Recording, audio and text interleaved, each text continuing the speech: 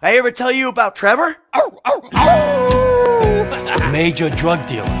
Real hillbilly type shit. Bring me my coffee, I'm gonna cut your arm off. But it's the same old tune, fiddle and guitar. Back in town, baby, yeah! Please just go and ruin somebody else's home furnishing. Rhinestone Suzanne, shine. New in town, I'm making friends, all right? It's been the same A lot of friends. I mean, things could get really messy. Just keep him away from me and the children. Nice new tits, by the way.